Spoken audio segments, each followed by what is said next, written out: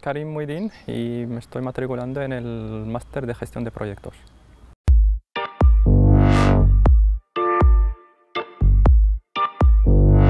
Yo terminé la carrera en 2012, soy ingeniero industrial y me metí en el sector del agua, de la agricultura, pero me faltaba unos conocimientos, poco a poco voy adquiriendo información, pero ya mm, veo que el tema de matricular en el máster es para ya adquirir ya la formación ya profesional.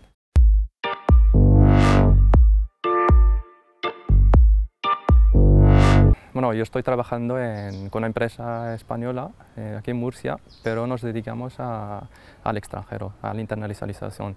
Entonces estoy trabajando en Marruecos y sí que hay muchas oportunidades de, de tema de regadío.